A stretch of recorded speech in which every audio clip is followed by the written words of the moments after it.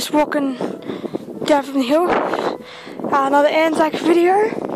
Lest we forget, we will remember them. I don't know.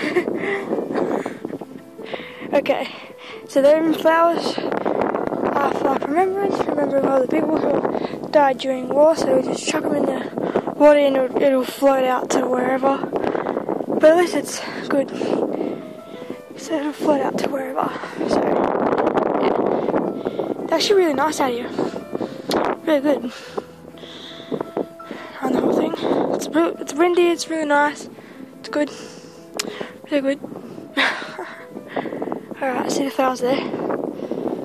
There they are, right there.